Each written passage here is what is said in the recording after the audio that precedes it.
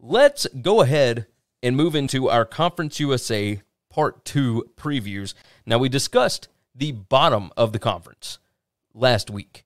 But now we are going to talk about those that finished at the top. There are only 11 schools left in Conference USA as of right now. Of course, some of those will be moving over to the AAC, and then you will have a whole batch of new ones that are moving into Conference USA next year. So this is the last year that we will see this format. Uh, there are no divisions. We are just going to talk about those teams and the way that the schedules shape up, etc. But let's go ahead and move into the previews, and we will start off with, eh, and that's not the right page. Let's jump into this one. All right. We'll start off with the UTSA Roadrunners and, of course, Jeff Traylor. Magnificent job last year. By the way, anybody that wants to know, I will be posting these. Eh, I've gotten a lot of questions on Twitter and whatnot about where they can get these spreadsheets. These are just my personal notes spreadsheets, but I'm going to post them on the website, winningcureseverything.com. So go ahead and make sure you bookmark the website and check frequently. I'm going to post them up, and I'll let you guys know on the show when they are posted. Uh, but I might actually start sending out these as images on Twitter so that everybody can have them if they want them. So uh, I do appreciate you guys asking for sure.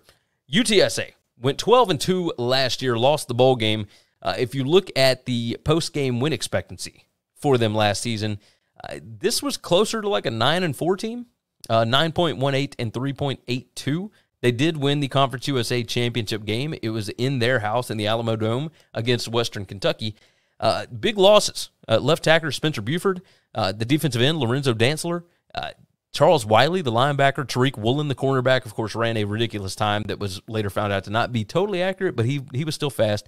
And then, of course, the running back Sincere McCormick, which I was really worried was going to be a big part of their rebuilding this year their their returning production is 72%. That's number 34 in the country, so it's pretty good. And the offense brings back 82%, which is awesome. Uh, you look at some of these numbers, for the most part, fairly average. But when it comes to PPA per drive, number 28 in the country, that was really good. Number 11 passing success rate in the country, which if you look at Frank Harris and you think that he is just a running quarterback, etc., that is not the case. He is actually a very, very good quarterback. So, looking at this from the offensive side of the ball, uh, they lost offensive coordinator Barry Lunney Jr. He went over to Illinois with uh, Bret Bielema. They should remain good under the co-OCs, Will Stein and Matt Maddox. I, I believe that Traylor's got a lot of faith in these guys, and those two have a lot to work with here. I don't know which one of them's going to be calling plays. I was not able to find any of the notes anywhere. If any of you UT, uh, UTSA fans want to toss those out to me, I would love to know who's actually calling the plays. Uh, as good as Sincere McCormick was, the offense was still number 72 in rushing success rate last year. That's definitely not great. Uh, and while I said that that's the one that I was worried about you losing because he was a workhorse last year, they do get Arkansas running back Trelon Smith transferring in. Now, his numbers at Arkansas last year were not great. He had to deal with injuries, etc. But Smith is a really talented running back, and I think he's going to be awesome in this offense. Frank Harris, I said, of course, returns along with wide receiver Zakhari Franklin. Four seniors on the offensive line. Um, and the transfer left uh, left tackle Payne Abear from Northwestern is coming in. I think he could be an immediate starter as well. Uh, this offense looks like it's going to be just fine, just fine. At number 28 in PPA per drive, I don't know how replicable that is this season, especially losing your offensive coordinator and uh, McCormick at running back. But they got the pieces in place to be able to do the same thing that they've been doing. Uh, the schedule is a little bit more difficult for sure, especially early on. But yeah, this is still going to be a good football team for sure. Defense, co DC Rod Wright left for a job with Miami. So the defense now solely on Jess Loepp. Uh, defense, not the reason that they won 12 games last year. Obviously, you look at some of those numbers. PPA per drive, they were number 67, so they basically had to outscore a lot of teams.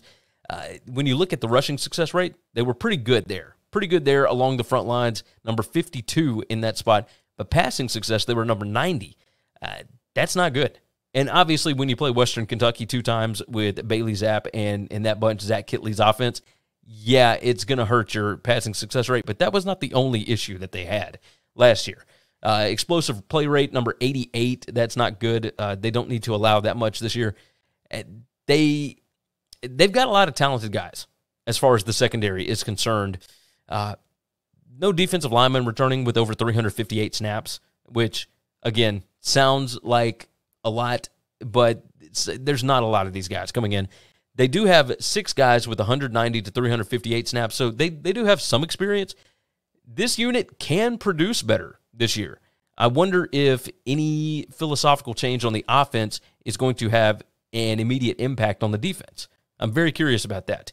Uh, top players, of course, Trelon Smith. I brought him up. Frank Harris, Zakhari Franklin, uh, the right tackle, Mekhi Hart, uh, the safety, Rashad Wisdom, and the linebacker, Trevor Harmanson. Those are guys to look out for. Keys to the season Frank Harris, number eight in passing efficiency, number 11 success rate. Um, I, you got to ask about the offensive coordinator. Like, uh, do you miss Barry Lunney that much? Losing four of the front seven on defense could sting. There is obvious talent there. Jeff Traylor has loaded this cupboard. Um, what will leadership changes on both sides of the ball mean? That's another question. Well, while you got a bunch of these same players coming back, do they match the same ideas that the coaches had, that the leadership had before those coordinators? Team was number 21 in net points per drive, but number 55 in PPA margin. Uh, if the defense can step up, this can legitimately be a top 25 caliber team and not just in the G5 or whatever. This can be one of the premier teams in the country if you can get the defense to play at an above average level because this offense is stacked with talent. So the defense has talent too, but we got to see it before we do anything else. So, uh, my record for them, by the way, let me pull that back up. Uh, I have them nine and three. I've got losses at UAB. I've got a loss to Houston, and I've got a loss uh, at Texas. I've got them beating Army and then beating everybody else in Conference USA. So I think, I think they're still going to be really, really good. It just may not be the same, you know, 12 and 1 that they were heading into a bowl game last season. Still going to be really good, though. Still going to be really good. Uh, we'll move on from there. And Western Kentucky, you talk about a team that is changing a lot this year. Uh, Tyson Helton and in that bunch. I mean, you can't lose as much on the offensive side as as they did and expect to have anything even close to what they had last year, but uh, they are certainly going to try. You look at their numbers here number 55, or sorry, number 104 in returning production. That's 55%, but the offense is where they really hurt. Only 43% returning production. They had a bunch of guys transfer out, as well as losing Bailey Zappe to the NFL. Zach Kittley, of course, went back to Texas Tech. That's going to hurt. Um, Mitchell Tinsley transferred out. The left tackle Cole Spencer is gone. Right tackle Mason Brooks is gone. Jeremiah uh, uh, Sterns, excuse me, is gone. Like this is, I said Jeremiah. It's Jerreth Sterns. Good gracious, my my mind is everywhere today. My apologies, guys. Uh, so with Western Kentucky, let's look at the offense here. Their numbers last year were like blow you off the page kind of stuff. At number three in PPA per drive, number 15 in rushing success rate, number three in passing success rate. And you know what? I'm going to zoom in on this. There we go. You might be able to see that a little bit better. Uh, PPA per drive number three, rushing success rate number 15. And this is for a team that really didn't run the ball all that much. They were much more a, a flinging around the yard kind of offense. Uh, the passing success rate number three, explosive play rate number 48. And I know everybody looks at that and says, wait a minute, explain explosive play rate. It, it's just what it says. Uh, they ran a ton of plays last year. Like a total plays per game for this team, they were number three in the country. So, yeah, you're not going to break a ton of explosive plays in regards to or compared to the rest of the plays that you run when you run that many plays. So, yeah, they did have some explosive plays, but uh, when it when you look at the numbers, it's not quite that much. So they, they were still very effective. Turnover margin, they were number 12. As many plays as they ran, they really did not turn the ball over that much, and they were able to get turnovers from the other team. So that's definitely good. Looking at the changeover in offensive coordinator, 26 year old offensive coordinator and quarterback coach Ben Arbuckle. He was the assistant quarterback coach and an offensive quality control coach last year. Eh, this guy learned under Kittley, and, and he is the youngest coordinator in Division One football. I'm curious what this is going to mean. And obviously, they want him to run the same thing that Kittley ran does he have the leadership qualities to be able to do that? Does he have the same kind of ideas, or is he going to change up the philosophy a little bit? And does Tyson Helton trust him enough to allow him to do that? I'm not 100% certain. This offense lost a lot of talent as far as roster strength goes, thanks to our guys over at CFB Winning Edge. They were number 113 out of 131 in roster strength on offense. That is not good when you were trying to come up with something that can uh, go fast, etc. You need talent in there to do that, and you need depth. And I don't know that they've got either of those. They do have some talent for sure. They they got transfer quarterback Jarret Doege, the starter coming in. Um, the question there, of course, if you watched the BetUS College Football Show with us last year, Jarret Doege was known on our show as Schrodinger's quarterback. You never knew what version of him you were going to get. He's going to be running something completely different in this than he did at West Virginia, uh, and and before that at Bowling Green. So, uh, can Austin Reed from D2 West Florida beat him out? I doubt it because Doege's been around forever. He's a senior. He he's got a good work ethic from everything that I've heard. Uh, and I put on here like what will the offense even look like? I would imagine it looks very similar to what Kittley did but can you do that when you're missing some of the guys that they are missing now? Starting offensive lineman left, along with the wide receiver Sterns and Tinsley. Um, yeah, and then the quarterback, of course. Uh, the offense is going to rely on transfers at basically every level, but not to the same extent, I guess. Uh, this is going to be interesting to see what they end up doing because this team leaned on that offense last year. Uh, and that'll lead us into the defense here. The new DC is Tyson Summers, who, of course, was the head coach at Georgia Southern not that long ago. Uh, he was a former Colorado defensive coordinator. So, 14 players return on this defense with 300 plus snaps last year. That's good. You've got experience there. The defense was putrid last year, but again, that's because the offense moves so fast. Anytime you have an offense that runs like that, the defense is going to take a step back. They were number 93 in defensive uh, points predicted predicted points added per drive, so PPA per drive. Uh, number 96 in rushing success rate allowed. Number 96 in passing success rate allowed. But they were number 31 in explosive play rate. So that's good. Uh, the question, of course, is like how many plays were actually run compared to how many explosive plays. So uh, with with the offensive philosophy change, or what we assume will be a slight change, what are we going to look like on defense here? Um, they're studs on defense the, the defensive end, Jones, linebacker, Hunter, all that. The efficiency in this situation is going to be linked to the offense. This is such an interesting program with Western Kentucky. Uh, you never know what you're going to have from year to year. And they have gone from being one of the best defensive teams in Tyson Helton's first season to not really having any kind of an identity in the second year Third year, they're a highly uh, offensive team, right? You bring in Kittley and you bring in that Houston Baptist offense. And now I don't know what the actual identity of the locker room is, what they want to be. Do they want to be this high flying offense? Do they want to go back to where the defense is actually pretty good? I'm not sure. This year is going to be pretty interesting, I think. Uh, keys to the season here offense likely to regress, defense has to be better. Uh, the offense coordinator, Ben Arbuckle, is young. Um, do they attempt the same offense? I'm going to ask that question over and over and over again. I, I just want to know. I do have a lot of faith in Tyson Helton. I believe he can be a good coach. Uh, I don't know if he can figure things out this year. Uh, the early season schedule is forgiving, and they have a bye week before they play against Indiana. Uh, transferring in an entire offense in 21, and now they lose all of it. Uh, that's concerning. Like they lost 11 guys to transfer. Eh, what what do you gain? What does your program gain from something like that? Eh, they did get a lot of pub last year for the kind of numbers that were put up and everything, but when those guys leave, what does it mean going forward? Was it just an extension so that Tyson Helton doesn't lose his job earlier, or you know that's what I'm curious about for this season. Looking at the schedule, I've got them at six and seven. They do play Hawaii early. They play on the road at Hawaii in week one. They've got a week zero game against Austin Peay you can get wins in both of those. Even as you were trying to figure things out, you have a bye week before you play at Indiana. But this looks like a six and seven kind of football team to me. Uh, even with the 13 games, it's just, I mean, you've got some rough games. They play at UTSA, at Indiana, at Hawaii, at Auburn, at Charlotte, at Florida Atlantic. This this is tough.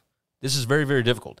So while I am curious about everything that's going on with this bunch, number 104 in returning production, and a schedule like this, six and seven, and that'll get them to a bowl game. I think that would be a success. Now, do I think that they could probably lose more than seven games? Yeah, yeah. Do I think that if everything goes right and Arbuckle's offense is exactly like Kittley's and they hit with Jarret Doege and they hit with some of these wide receivers, yeah, they could be really good again. But my my money would not be on it for sure. So I'm going with six and seven on Western Kentucky.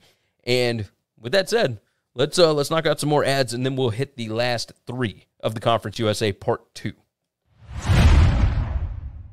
Let's take a break from the show for just a minute to give you some info on things you should know about. Follow the show on Twitter at Winning Cures, or you can follow the guys at Gary WCE and at Chris B. Giannini, or you can also follow us on Facebook. If you want more content from me, Gary, visit betustv.com. I host the How to Gamble on Sports show, and from August through January, the BetUS College Football Show. You can subscribe to both on YouTube. Got your own podcast or web show? Looking to start one? Or you're just curious how we look and sound so good? Well, we've got all the gear that we use listed on our gear page on the website. If you order using our links, you'll be supporting the show too. If you're interested in advertising on a show that reaches over 80,000 unique football fans per month during the season, send an email to Gary at winningcureseverything.com and we'll put together a plan that best fits you or your business. And now, back to the show. All right, now let's dive into UAB. And the Blazers last year, pretty good. Pretty good, not bad. Went 9 and 4. Bill Clark's team is always incredibly well coached. Uh, every single season. It does not matter who's returning. It doesn't matter. You have a you have a foundation. You have a floor for this program, and they tend to reach over it almost every single season. If you look into, um, let's look into the losses here. Uh, obviously, Antonio Moultrie going to Miami hurt. Uh, Ray J. Johnson, the wide receiver, heading over to Troy. Uh, that one may hurt. They lose Gerrit Prince, the tight end. He was highly used last year. Linebacker Alex Wright is a big loss there. They are number 51 in returning production, 66%. The biggest problem that you're going to have is on offense, where they only have 64% returning. But defense is number 44 in the country. Uh, you got a bunch of experienced guys here. Uh, let's start off on the offense here. Quarterback, uh, quarterback, again, having problems talking today, guys. Dylan Hopkins returns uh, after a massive year last year. He missed spring. Is that going to matter? You got other guys in here that could be vying for that job. Dylan Hopkins surprised a lot of people because I think we all thought the quarterback last year was going to be Tyler Johnston. He has uh, transferred out. Now you got Hopkins, and you do have some other guys. Uh, a Baylor transfer came in, etc. We'll see what all that means. I would imagine Hopkins is going to be the guy, especially with as well as he played last year. Uh, offensive line returns three starters. You got some other guys that have some snaps as well, so you do have experience on the front line there. Uh, skill positions are loaded. Wide receiver could use a little more explosivity uh, beyond Trea uh, Shropshire's 26 yard per catch average.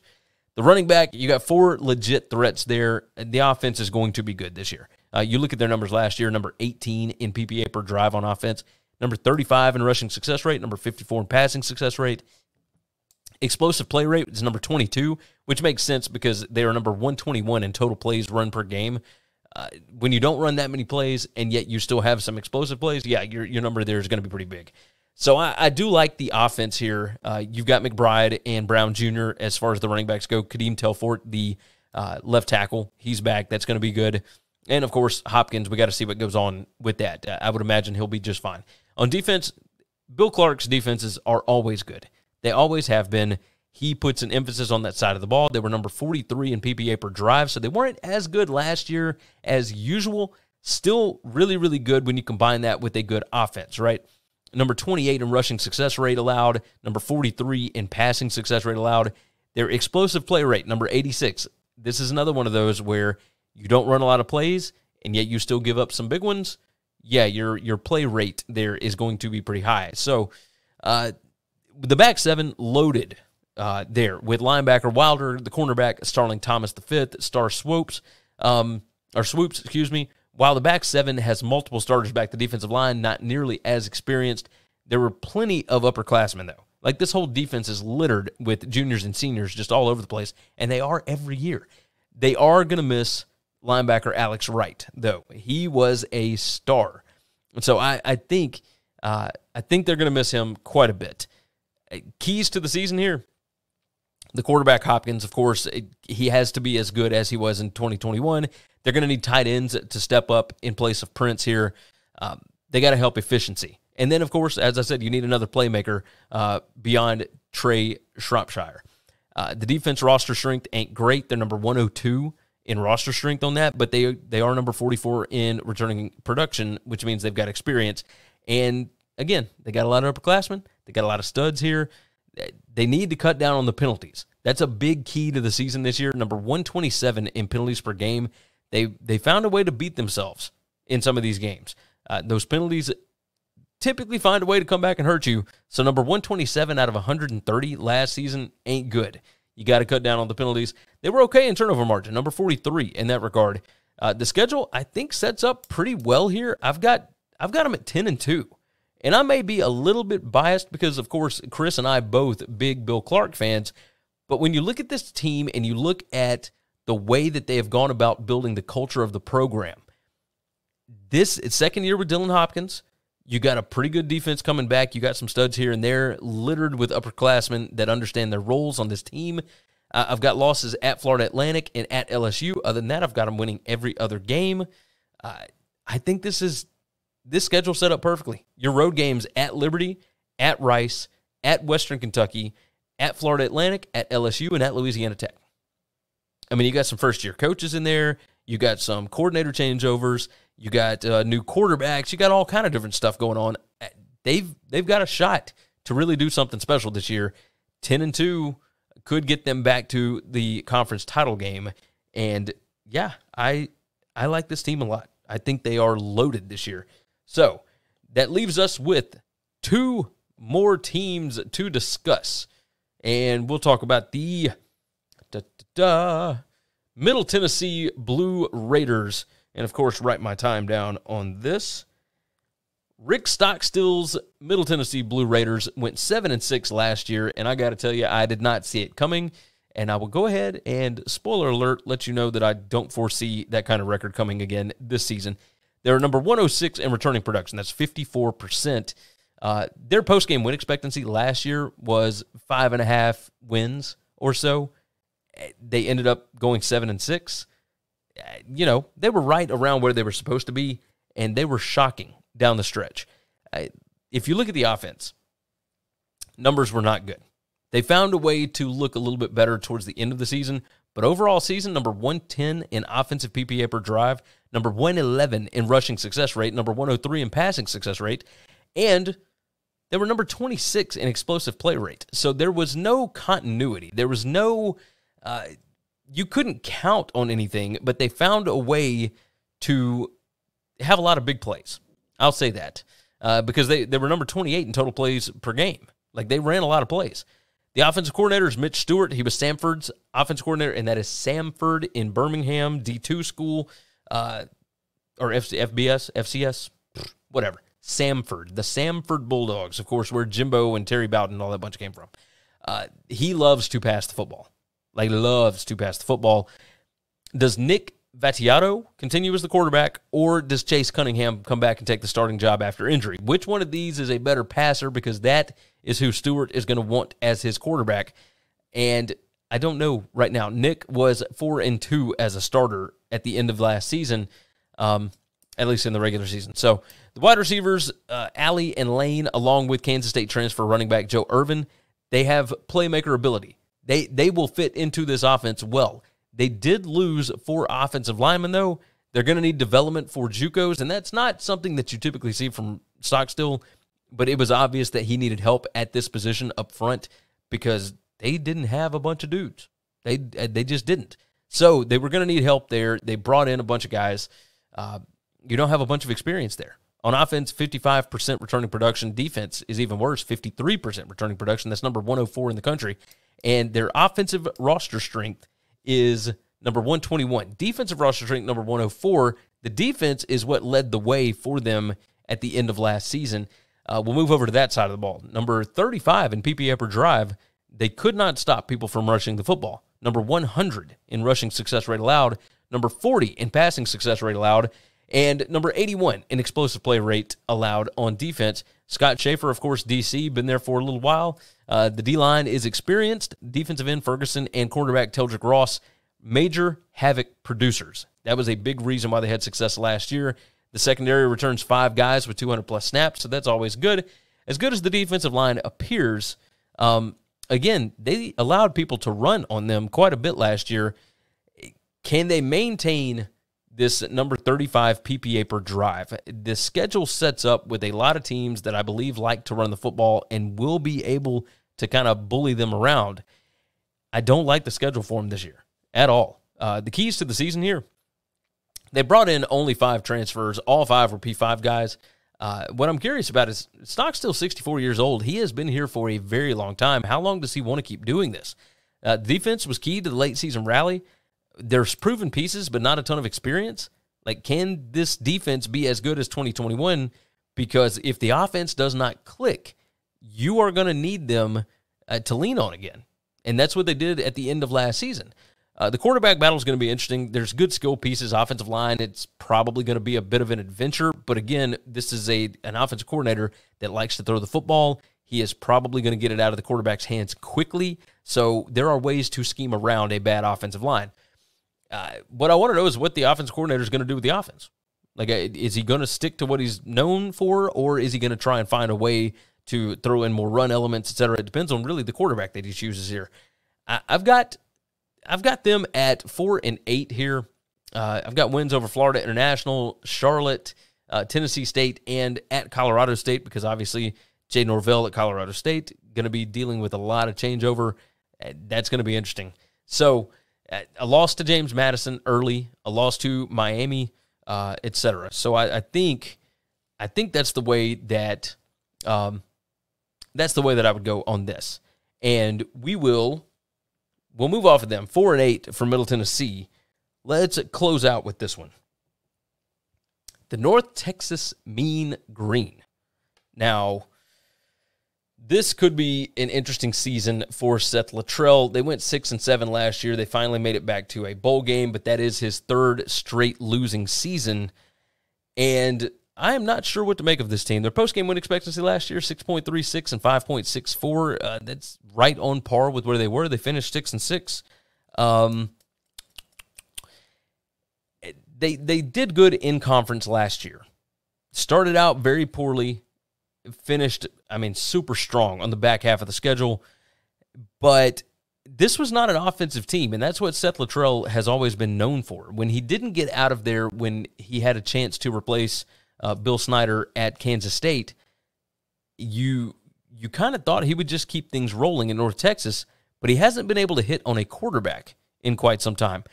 Again, six and seven last year. They were nine and four against the spread. This was a pretty decent football team. They're number 30 in returning production, 73%, and even better than that on offense, 84% coming back on offense. The problem with that is that it wasn't the offense that they leaned on last year, it was the defense. Defense was number 28 in PPA per drive. The offense was number 81 in that regard. Uh, we'll start off with the offense here. Uh, obviously, the the losses. The running back DeAndre Torrey, he was a boss last year, absolute boss. But they do have some running backs that played really, really well last year. So you still got your number two and number three options. Uh, the end of the season was led by a rushing offense there, uh, along with that defense. Uh, while you're losing the running back Torrey, you got a three headed beast with Ragsdale, Johnson, and Adey. I hope I said that right. And then you got four offensive lineman starters coming back. Uh, as good as the rushing offense was towards the end of the season, Overall, they were number 71 in rushing success rate. So you got to hope that they come out of the out of the gate banging right off the bat. Uh, my question at quarterback is Grant Gunnell, who transferred in from Memphis, um, is he going to beat out Austin Aune? Uh, and now I've got to double check and make sure that my notes were right on this because I I don't know. I thought Grant Gunnell maybe went over to somewhere else. I thought he went to Auburn. And of course, this is great radio for me to be doing this right in the middle of the show.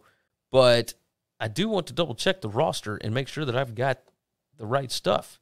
Uh, North Texas quarterback, yeah, Grant Gunnell transferred in, senior, uh, 85.62 rating. Yeah, okay, okay. Let's uh, let's talk about it. Let's see what we got here. Uh, that's what I want to know. Is Grant Gunnell going to, like, he transferred from Memphis? He didn't get to play at Memphis last year. He was the presumed starter for the Tigers last season, but he went out with an injury before the first game. And then, of course, Seth Henigan took over for the Tigers. No reason for him to stick around. And honestly, he couldn't go into a better place. North Texas, uh, from what I understand, still not totally sold on old Austin there. Uh, he he has not been great. I mean, he's 29 years old.